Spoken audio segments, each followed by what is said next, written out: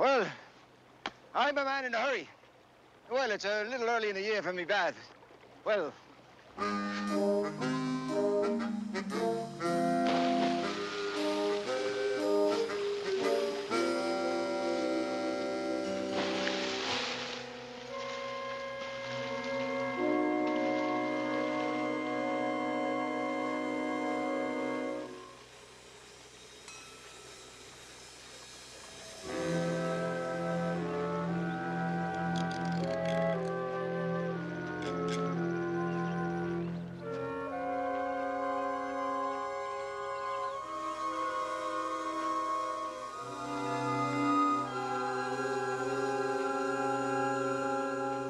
away for a while, I suppose. Hello! Something is wrong. Well, as my father used to say, if you go looking for trouble, you're going to find it. Let's see if there's any food in the house.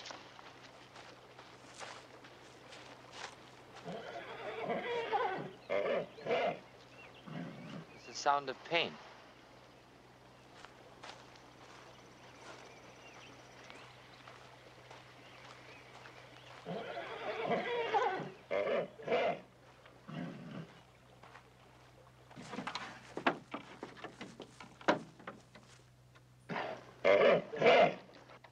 Slow and easy, mister.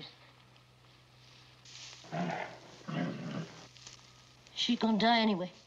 We don't need no special excitement for her. Why must she die? You don't know what a breech case is? Oh, how women try to make moments like this consequential. A breech case, is it? She's going to die, is she? Well, reach in, you ignorant thing, and turn the little one around so it can be born. It's upside down and a... Them sharp hooves are tangled up. She starts labor, then they're all gonna cut her up so bad inside, she's gonna die. Well, have you never dealt with her before?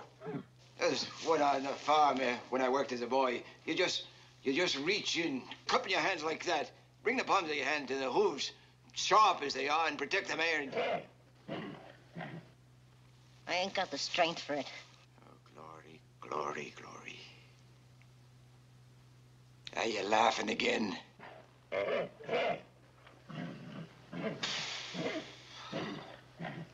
Well, in plain fact, her chances are slim. There's a rhythm to the contractions. And I have to ease the little hooves out each time between.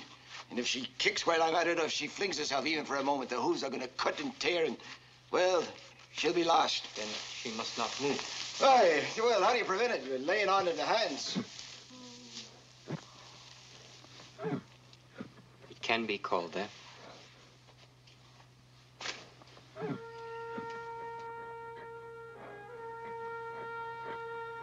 The hands, grasshopper, are the eyes and tongue of touch. Through them, a man may reach out and see another's feelings or speak his own. Is it not sad, master, that the hands of a man may strike a blow as well as caress? Pain and pleasure are like two bells, side by side, and the voice of each makes a trembling in the other. Are pain and pleasure then so alike? Are the eyes and the tongue alike? We see the butterfly and an ugly wound. And the same tongue which screams also laughs.